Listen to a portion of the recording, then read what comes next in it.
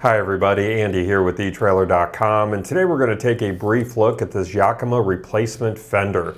This is going to replace the passenger side fender on your EasyRider trailer and the good news is this is going to work for all Easy Ride trailers.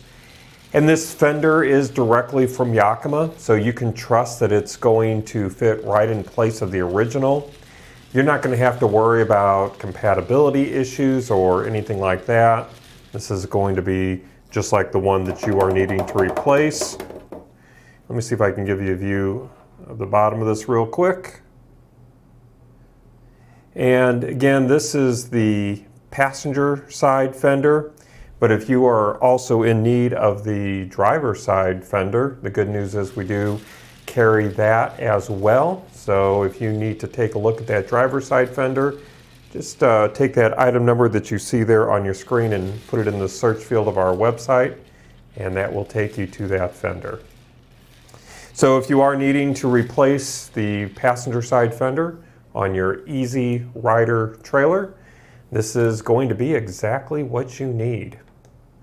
Well, that's going to conclude our brief look today. I do hope that it was helpful for you. Again, my name is Andy. Thank you for joining me.